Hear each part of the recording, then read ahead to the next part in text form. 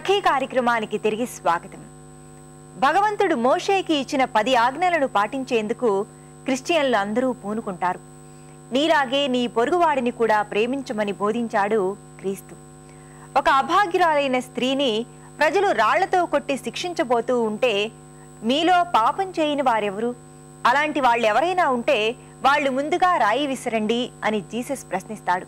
ప్రతి ఒక్కరూ ఆలోచించి ఆత్మ విమర్శ చేసుకోవాల్సిన ప్రశ్న ఇది. పాపం చేసిన వారిని శిక్షించటం కాదు. ఈ లోకంలో పాపమే మరణించాలి అని భావిస్తాడు యేసుక్రీస్తు. రోమన్ ప్రజలందరూ క్రీస్తు బోధనలకి ఆకర్షితులవ్వడం ఆ దేశ రాజుకి కంటగింపవుతుంది. ప్రజలు తనకి వ్యతిరేకంగా తిరుగుబాటు చేస్తారని భయపడ్డ రాజు క్రీస్తును సిలువ వేయిస్తాడు. క్రీస్తు బోధించిన కరుణ క్షమగుణాలను మానవత్వాన్ని అందరూ పాటిస్తే మనుషులు సంపూర్ణ మానవులుగా అవుతారు. క్రిస్మస్ పండుగ మనకిచ్చే సందేశం గురించి మీరు కూడా ఆలోచిస్తారు కదా? సరే మరి వాటి సఖీ కార్యక్రమాలపై మీ అభిప్రాయాలు సూచనలు మాకు తెలియజేస్తారు కదూ? మా చిరునామా సఖీ ఈటీవీ రెండు రామోజీ ఫిల్మ్ సిటీ హైదరాబాద్ ఐదు సున్నా ఒకటి ఐదు ఒకటి రెండు.